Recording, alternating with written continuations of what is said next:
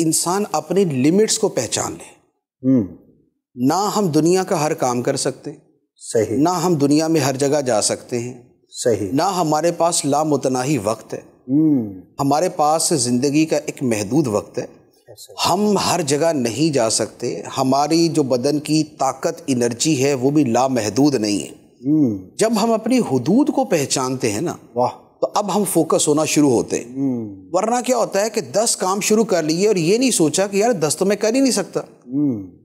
बीस जगह जाने का वादा कर लिया और ये जेन में नहीं है कि यार बीस जगह तो मैं जा ही नहीं सकता। सही। तो लिहाजा पहले अपनी लिमिट्स को पहचाने एक मरतबा अपने जहन में ये बिठा ले कि यू आर नॉट अनलिमिटेड सही।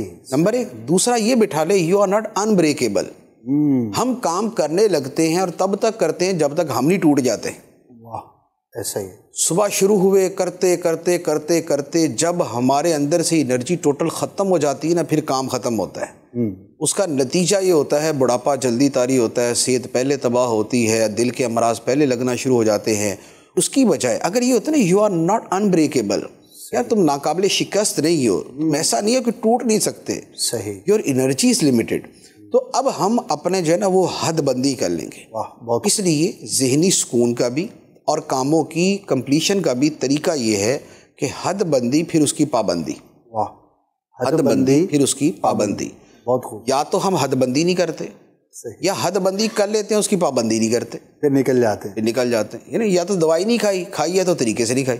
सही। तो बात यह है कि हद बंदी भी करें फिर उसकी पाबंदी भी करें। एक बात। दूसरी बात यह है कि हमेशा अपनी ज़िंदगी की और अपने सालों की महीनों की दिनों की जो तरजीहत है वो तय करें।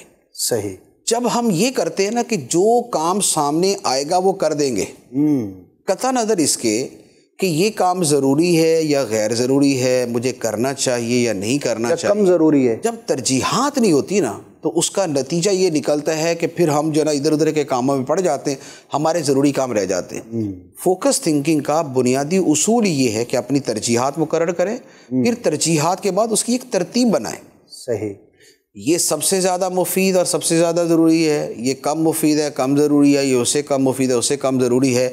अब आप उसके बाद सबसे पहले वाले पे आ जाएँगे। सही। अब जो आपने फाइनल एक चीज़ कर ली है अब उसको कोशिश करें कि उसका कुछ ना कुछ ऐसा हिस्सा अपने सामने रखें कि बाहर सूरत वो शे आपको रिमाइंड करवाती रहे। ठीक है।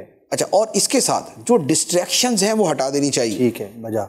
जब हम मिसाल के तौर पे कंप्यूटर पे काम करते हैं ना तो हमने देखा होगा कि हम नेट के ऊपर को सर्चिंग कर रहे हैं। जी।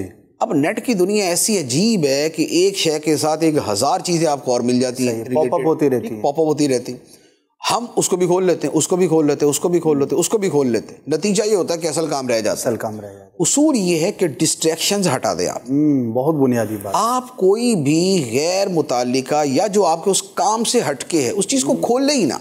सही सही। आपने एक किताबें पढ़नी है तो चार किताबें ना रखें। एक किताब रखें। जो आपने पढ़नी है जब पढ़ ली अब इसको उठा दें। अब आप दूसरी रखें।